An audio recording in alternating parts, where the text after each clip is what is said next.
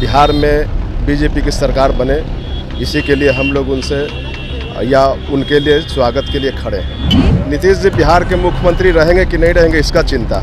यहाँ जंगल राज का शुरुआत हो गया है। अभी हाल ही में देखें कि मर्डर हो गया वहाँ पे पाँच मर्डर हुआ है। भले ही नीतीश कुमार भले ही नीतीश कुमार सरकार चला रहे हैं लेकिन पीछे से लालू यादव तेजस्वी यादव यही सब रिमोट से सरकार को चला रहे हैं।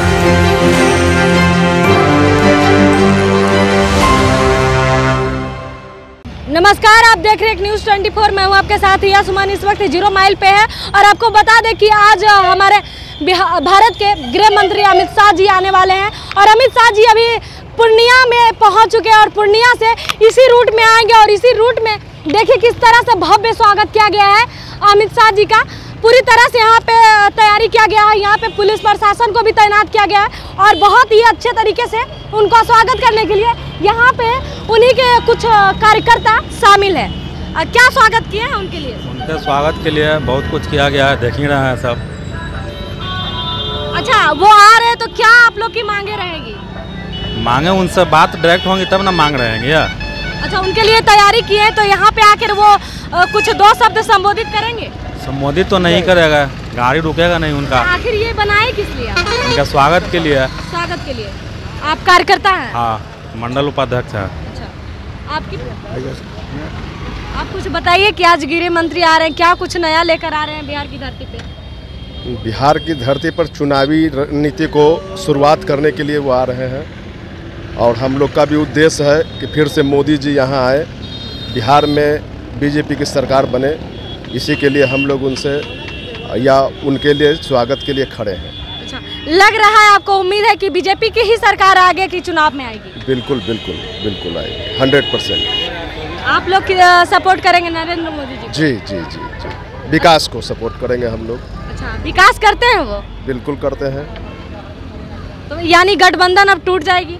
कहाँ से गठबंधन टूट जाएगी? लग तो यही रहा है कि गठबंधन एक तरफ़ कह रहे हैं नीतीश कुमार जी की प्रधानमंत्री के रूप में वो खड़ा होंगे।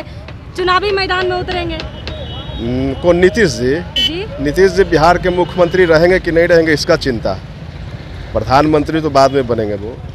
अच्छा तो तेजस्वी जी का जो मनकामना वो तो फिर पूरा हो जाएगा वो सीएम बन जाएँगे बिहार का। बन सकते हैं। वो बन सकते हैं लेकिन नीतीश जी नहीं बन सकते हैं। मतलब नीतीश जी को एकदम हटा देना है। हटाना नहीं है वो अपने कार्यकाल ऐसा ऐसा कार्य कर रहे हैं कि उनको लोग थोड़ा सा जो है ना बढ़िया आदमी है लेकिन काम बढ़िया नहीं कर रहे हैं। कुछ उल्टा पुल्टा कर दिए हैं। आपसे एक मेरा सवाल रहेगा कि आप जो बोल रहे हैं कि विकास का काम करते हैं आपके इसी गाँव में दो दो मर्डर हुआ है कल। शायद आपको पता होगा। दिन दहाड़े हत्या हुआ है गोली से मार कर और इस तरह का घटना हुआ कि हम आपको बता नहीं सकते वहीं से हम आ रहे हैं। तो आप कैसे कह सकते हैं कि विकास और प्रशासन की व्यवस्था कैसा है बिहार का? तो यही तो अंतर आ गया है ना। यहाँ जंगल राज का शुरुआत हो गया है। अभी हाल ही में देखें कि मर्डर हो गया वहाँ पे पाँच मर्डर हुआ है जेठुली गाँव में। फिर यहाँ दो किसान का मर्डर हो जाता है। तो आपको खुद देखना है ना कि कौन सा बदलाव हो गया यहाँ। तब हम लोग तो विकास के पक्ष में है ये है विकास बार करने वाले लोगों के साथ। लेकिन यहाँ सरकार किसकी है उसको देखना है। मतलब बीजेपी की सरकार आएगी। बीजेपी की सरकार ज़रूर आएगी एकदम। आपका क्या कहना है? बीजेपी की हाँ सरकार रहना ही है। आपका भैया? BJP BJP. अच्छा भले ही नीतीश कुमार भले ही नीतीश कुमार सरकार चला रहे हैं लेकिन पीछे से लालू यादव तेजस्वी यादव यही सब रिमोट से सरकार को चला रहे हैं। और जंगल राज की शुरुआत हो चुकी है।